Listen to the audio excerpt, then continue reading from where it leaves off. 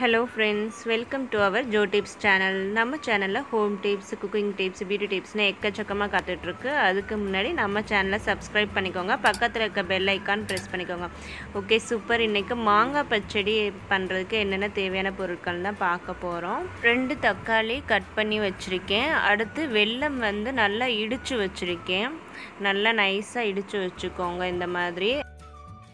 இப்படி நீல நீளமாக நீங்கள் வந்து கட் பண்ணி வச்சுக்கோங்க. சின்ன வெங்காயம் ஒரு ஏழுலேருந்து எட்டு சின்ன வெங்காயம் எடுத்திருக்கேன். அடுத்து நம்ம தாளிக்கிறதுக்கு சின்ன சீரகம் கடுகு கல்லுப்பு எடுத்திருக்கோம்.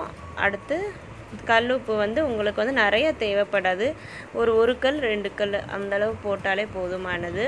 அடுத்து கருவேப்பிலை தாளிக்க ரீஃபைண்ட் ஆயில் தேவையான அளவு தண்ணி யூஸ் பண்ணிக்கிடுவோம் அடுத்து ஒரு நல்ல மாங்காய் வந்து எடுத்திருக்கோம். மாங்காய் வந்து நல்லா உங்களுக்கு வந்து ம தோல் வந்து நல்லா மேலே பளபளன்னு வலுவலுன்னு இருக்கணும். அப்போ தான் நல்லா டேஸ்ட்டான மாங்காயாக இருக்கும் உங்களுக்கு. அதை நல்லா க்யூபிக்காக நீங்கள் வந்து கட் பண்ணி வச்சுக்கோங்க. குட்டி குட்டி பீஸாக இந்த மாதிரி கட் பண்ணி வச்சுட்டிங்கோங்க. நல்லா கழுவிட்டு அடுத்து தேவையான அளவு பெருங்காயத்தூள். மசாலாத்தூள் என்ன மல்லித்தூள் ரெண்டு டேபிள் ஸ்பூனு கொஞ்சோண்டு மஞ்சள் தூள். காரம் உங்களுக்கு அதிகமாக வேணும் அப்படின்னா நீங்கள் வந்து மிளகாத்தூள் சேர்த்துக்கோங்க. இன்றைக்கி நான் பச்சை மிளகாய் சேர்க்காத ஒரு டேபிள் ஸ்பூன் எடுத்துக்கிறேன். ஓகே இப்போ வந்து நம்ம ஒரு பாத்திரம் வந்து ஹீட் பண்ணிக்கிடுவோம் ஹீட் ஆனதும் நம்ம வந்து ஆயில் அதில் ஊற்றி வச்சுக்கலாம். ஆயில் ஹீட் ஆகிறது வரைக்கும் நம்ம வெயிட் பண்ணுவோம். இப்போ ஹீட் ஆனதுன்னு நம்ம வந்து கடுகு உளுந்தம்பருப்பு போட்டுக்கலாம். கடுகு உளுந்தம்பருப்பு நல்லா புரிஞ்சு வரட்டும். புரிஞ்சது நம்ம கருவேப்பிலை அதில் ஆட் பண்ணிக்கிடுவோம் அடுத்து சின்ன வெங்காயம் ஆட் பண்ணிக்கிடுவோம் சின்ன வெங்காயம் நல்லா வதங்குற வரைக்கும் வெயிட் பண்ணுவோம். வெயிட் பண்ணதுக்கப்புறம் நம்ம அதில் தக்காளி ஆட் பண்ணிக்கலாம்.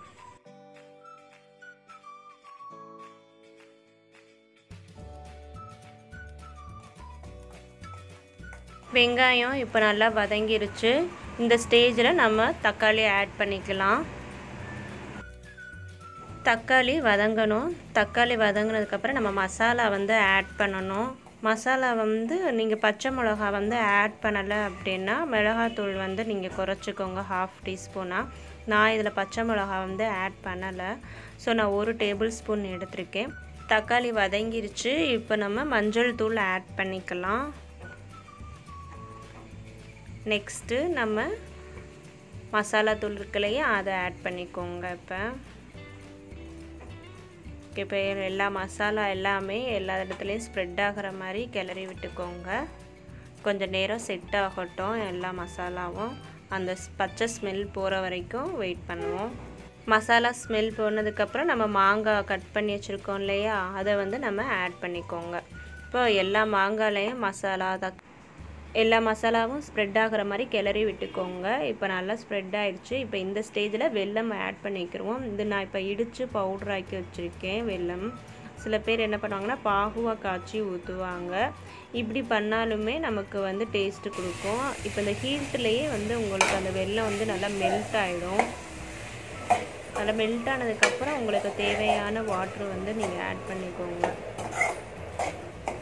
இப்போ பார்த்தீங்கன்னா நல்லா மெல்ட் ஆயிடுச்சு உங்களுக்கு அந்த இது தெரியும். கீழே வந்து நல்லா உங்களுக்கு அந்த எசன்ஸ் அந்த வெல்லம் வந்து நல்லா உருகினது. அந்த பதம் உங்களுக்கு தெரியும்.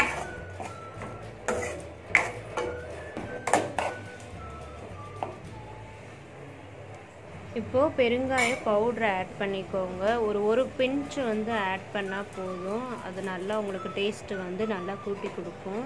பெருங்காயம். இப்போது தண்ணி வந்து நம்ம ஆட் பண்ணிக்கிடுவோம். அந்த மாங்காய் வேகிற அளவுக்கு நம்ம தண்ணி ஆட் பண்ணிக்கலாம். நம்ம மூடி போட்டு ஒரு டுவெண்ட்டி மினிட்ஸ் சென்று நீங்கள் ஓப்பன் பண்ணுங்கள் நம்ம மாங்காய் பச்சடி சூப்பராக ரெடியாக இருக்கும் இப்போ பாருங்கள் நல்லா அந்த மாங்காய் பச்சடி நல்லா தலை தலைன்னு கொதிக்குது. அந்த கலரே உங்களுக்கு வந்து தெரியும்.